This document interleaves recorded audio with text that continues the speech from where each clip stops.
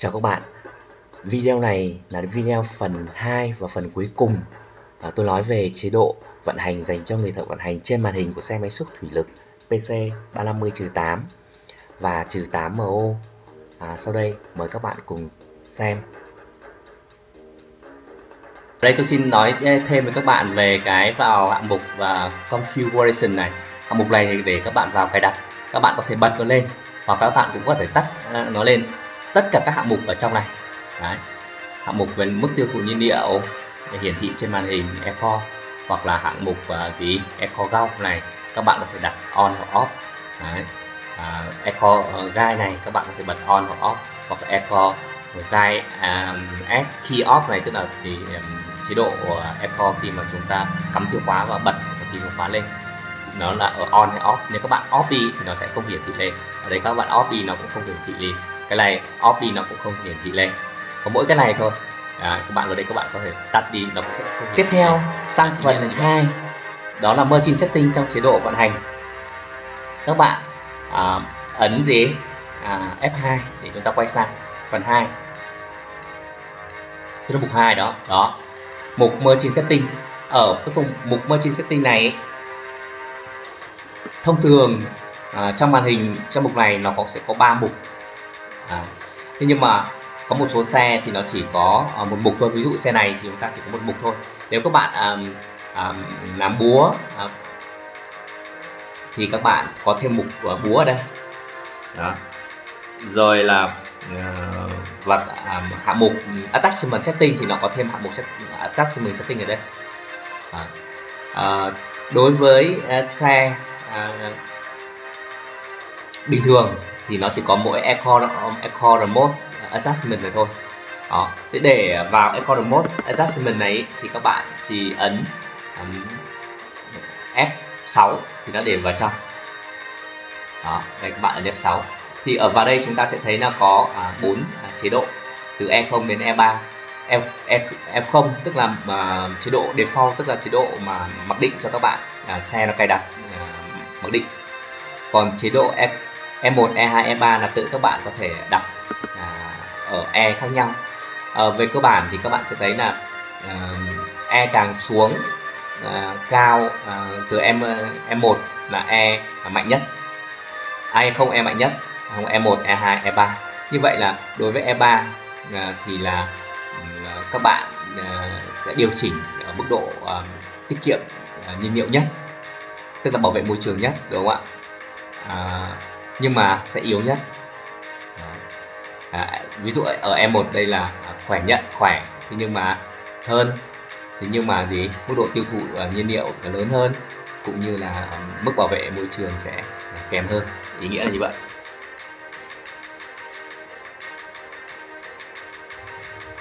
Đấy, các bạn di chuyển các bạn ở đẹp 3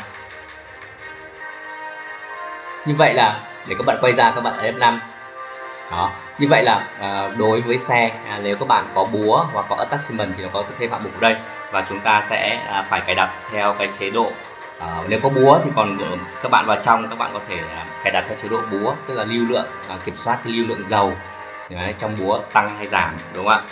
Rồi là à, các bạn cài đặt thêm ở attachment nữa. À, chúng ta quay ra thì chúng ta ấn gì? Tiếp F. 5 F à, quay ra và chúng ta tiếp theo tôi xin giải thích với các bạn là cài đặt một cài đặt màn hình trong chế độ vận hành. Để vào được cài đặt màn hình ấy, thì các bạn từ ở dưới um, đây đó, các bạn F2 thì nó sẽ ra hạng mục thứ tư. Đó là hạng mục về cài đặt màn hình. Ở trên màn hình này các bạn ấy um, chúng ta sẽ có đó là gì? À, Screen Adjustment tức là điều chỉnh về độ sáng tối màn hình cũng như là Clock Adjustment tức là điều chỉnh về thời gian cũng như là uh, language uh, adjustment tức là điều chỉnh về ngôn ngữ. À, ở đây là cái green adjustment này ấy, um, có một số xe thì nó còn thêm có hạng mục về camera uh, adjustment. Đó. Uh, nhưng mà xe này chúng ta không có camera thì nó sẽ không có hiển thị ở đây là camera. Nếu các bạn có camera thì nó sẽ hiển thị đây một hàng nữa là hàng camera. Có thể là vào chèn vào cái cột giữa này uh, đối với hạng mục đầu tiên đó là hạng mục về à, um, Screen Adjustment thì các bạn ấn à, vào đây à, F6 thì các bạn có thể điều chỉnh được độ sáng tối của màn hình. Đó. Các bạn có tăng có thể giảm đi. À, sang hạng mục thứ hai đó là hạng mục clocks adjustment. À, các bạn vào đây thì các bạn có thể điều chỉnh được. Đó. Ở đây trong clock adjustment này thì các bạn còn có những các các hạng mục ở bên trong nữa. À, hạng mục đầu tiên đó là hạng mục gì? À, về GPS communication tức là uh, đồng bộ à, uh, GPS uh, à, trên uh, uh, máy com chắc uh, nếu các bạn có com chắc thì các bạn đọc uh, bật menu đồng hồ uh, GPS on nó sẽ tự cài động uh, cài đặt các bạn ngày giờ tương thích với đồng hồ của GPS uh, ý nghĩa là như vậy. À, khi máy ở một khu vực nào đó môi trường mà không nhận được hệ thống radio à, sóng radio từ GPS như bên trong của tòa nhà thì chức năng hoạt động cài đặt có thể không làm việc và uh, bật menu đồng bộ à, uh, GPS on nó sẽ không uh, uh, cho các bạn uh, menu cũng như là lịch làm việc. Uh, ý nghĩa của cái uh, GPS này như vậy. Uh, tiếp theo um, ở đây có uh, hai cái hạng mục này à, thì có thể nó cũng sẽ không có hiển thị và tùy theo máy. À, nếu các bạn có GPS thì nó sẽ hiển thị ở đây. À, và không thì nó sẽ không có. Đó. À, hạng mục tiếp theo đó là hạng mục điều chỉnh về lịch đúng không ạ? Rồi là hạng mục về điều chỉnh thời gian à, điều chỉnh về giờ loại giờ 24 giờ hoặc là điều chỉnh về à, cài đặt thời gian à, tức là, à, là daily life chế độ sáng tối màn hình à, ban ngày hoặc là ban đêm. À, ý nghĩa là như vậy. À, các bạn cũng thể vào các bạn à, bật hoặc các bạn điều chỉnh hoặc các bạn có thể tắt nó đi. Off ở đây bạn tắt on thì các bạn à, bật lên à, bằng cách các bạn vào F6 để các bạn sẽ cài đặt. Các bạn lên xuống ở đây. Ở đây có nếu mà xe các bạn không có tính năng thì nó sẽ không hiển thị sáng lên. À, như vậy à, daily line time các bạn à, tức là buổi tối đó.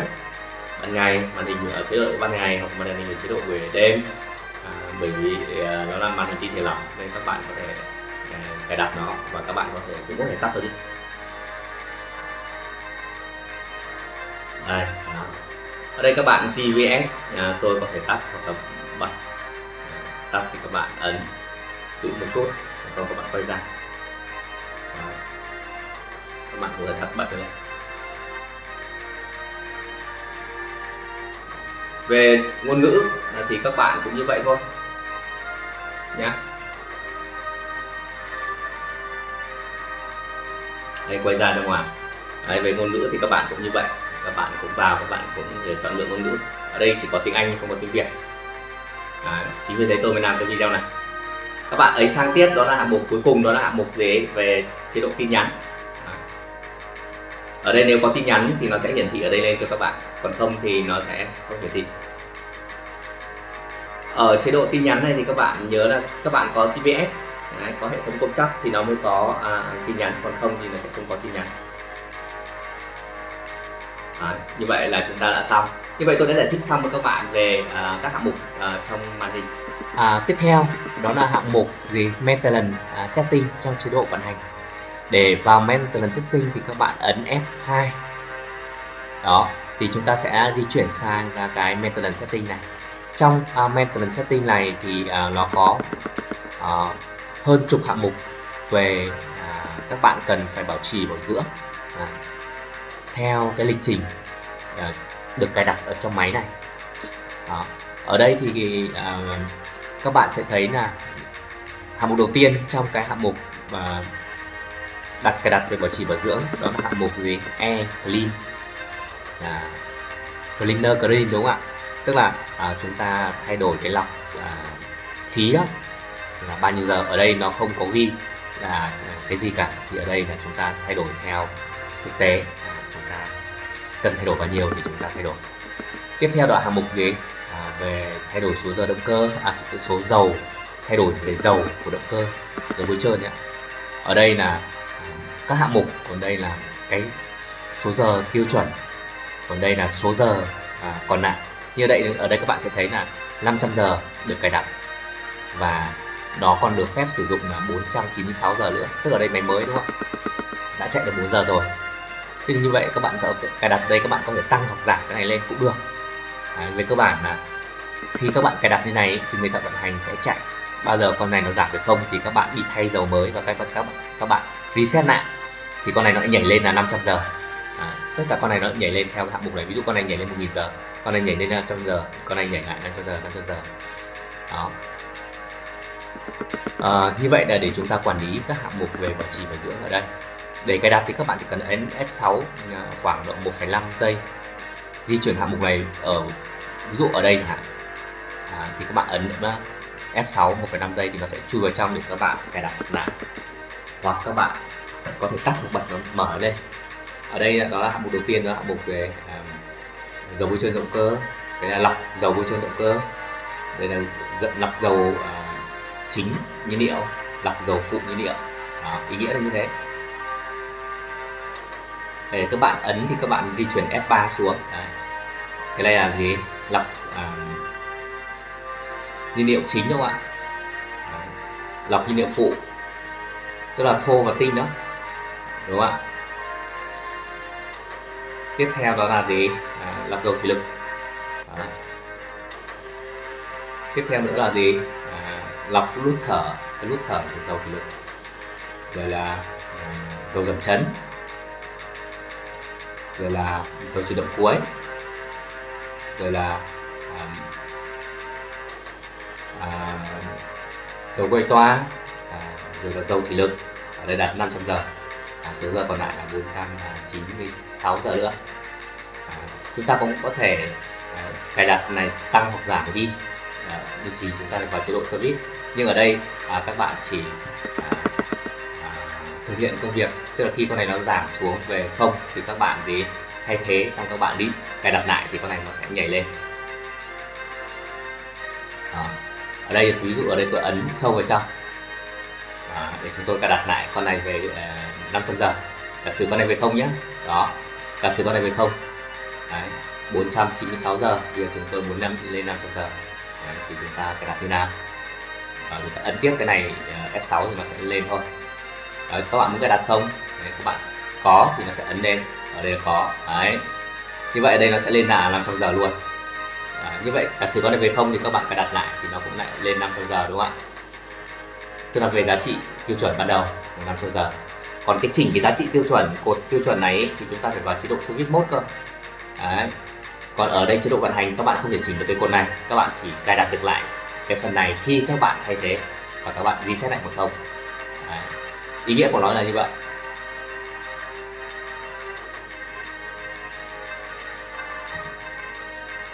Đây chúng ta ấn uh, quay ra Đấy, bắt đầu. Như vậy tôi đã trình bày xong với các bạn về ờ, chế độ vận hành dành cho người thợ vận hành của xe máy xúc thủy lực PC 350-8 ở Komatsu. Mọi đóng góp ý kiến, các bạn có thể gửi về địa chỉ lợi chấm komatsu việt nam a gmail com hoặc các bạn cũng có thể viết comment ở phía dưới. Xin chân thành cảm ơn các bạn đã quan tâm theo dõi video này. Hẹn gặp lại các bạn video tiếp theo.